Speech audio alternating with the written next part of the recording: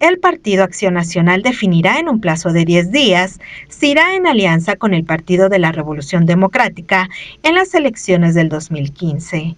El presidente del PAN estatal, Gustavo Macías, señaló que tomarán una decisión antes de que se aprueben los métodos internos de selección de candidatos. Aclaró que están por determinar si la coalición será en la totalidad de los municipios de Jalisco o parcial.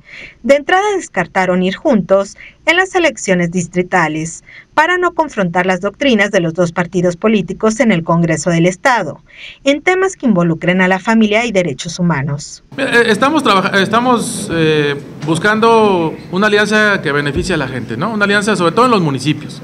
No estamos hablando de, los distritos, estaremos hablando más de, preparar una, una propuesta en común. Ustedes saben que en los municipios, pues los liderazgos eh, nuevamente son los que, los que se siguen en, un tema de, poblaciones y veremos qué, paquete le podemos ofrecer a la ciudadanía juntos. Yo estoy seguro que ambos, ambos partidos eh, tendrán propuestas muy interesantes que las podemos sumar y podemos presentarles a la ciudadanía una plataforma común municipal de beneficios para, para la gente, más que un tema doctrinario, un tema que venga a afectar eh, asuntos de, la, propia ideología de cada uno de los partidos. Por lo pronto, los aspirantes a la candidatura del PAN para la presidencia municipal de Guadalajara, Alfonso Petersen Fara, César Madrigal, Fernando Garza y Tomás Coronado, hicieron el compromiso de respetar los métodos internos de este proceso electoral y trabajar unidos para recuperar este municipio.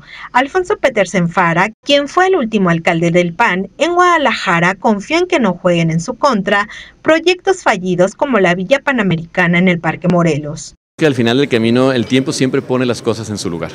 Y por ejemplo el tema de las vías panamericanas, que es un tema que lo cual trabajamos muchísimo, que le echamos los kilos, que buscamos los mecanismos para poderlo sacar adelante y que al final de cuentas lamentablemente el PRI nos negó al haber votado en contra de un apalancamiento financiero argumentando que el municipio de Guadalajara no tenía solvencia financiera cuando lo que nosotros estábamos solicitando un apalancamiento y cuando ellos llegaron y tan solo meses después habían pedido un crédito de dos y media veces la cantidad de apalancamiento que nosotros estábamos solicitando, bueno, pues hoy se convierte en el proyecto económico más importante de la ciudad de Guadalajara. Los panistas también están por definir si seleccionan sus candidatos en asamblea, en un proceso abierto al ciudadano o por designación.